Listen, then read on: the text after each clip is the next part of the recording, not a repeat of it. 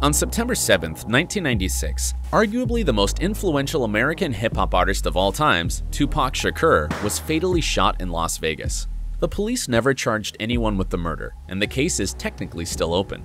In this episode, we're going back to 1996 to give you the full picture of what actually happened on the night when Tupac was killed.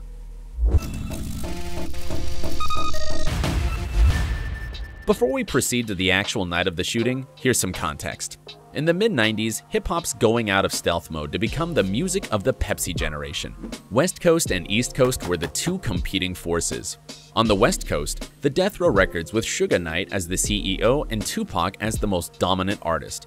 On the East Coast, the Bad Boy Records with Puff Daddy as the CEO and Biggie Smalls as the massive star. Suge and Puff hated each other big time. Rumors say that someone from Bad Boy Records ended up offering $1 million to an LA gang Southside Crips to kill both Suge and Tupac. The offer wasn't accepted. Now, back to the night. On September 7th, Tupac was attending Mike Tyson's fight for the world title at MGM Grand Casino in Las Vegas. Whenever Tyson would have a fight in the 90s, it would be like the hardcore version of the Super Bowl. Massive crowds of people, celebrities, drug dealers, and gang members all would come to Vegas for the Rumble. Some high-profile members of the Southside Crips gang were also attending the match. So, Tyson quickly knocked down his opponent and the match was over in less than two minutes. Right after the fight, Tupac was planning to head up to the Club 662, where he was scheduled to perform at the after-party.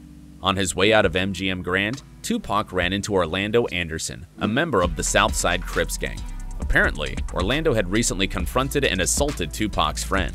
The security cameras captured a fight scene where Tupac, Suge, and the bodyguards knocked Orlando to the floor and beat him up badly.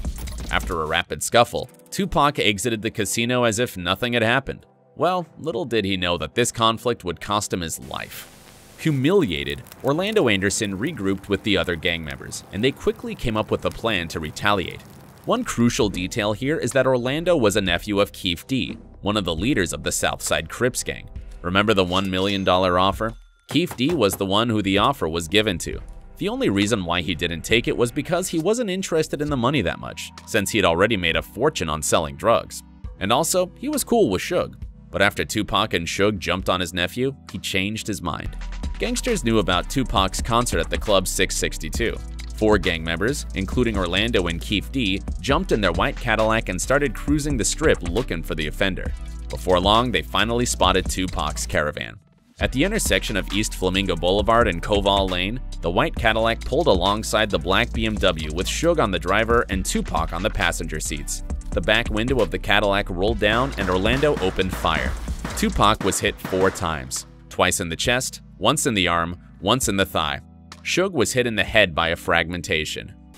After arriving at the scene, police and paramedics took both Suge and Tupac to the nearest hospital, where six days later, Tupac was pronounced dead at the age of 25.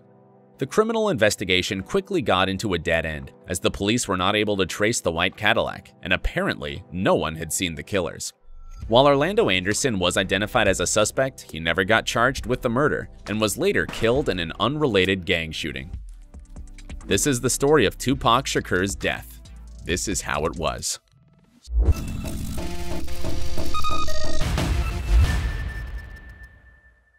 Alright, if you liked this video, please give it a thumbs up. And don't forget to hit that notification bell so you won't miss new episodes.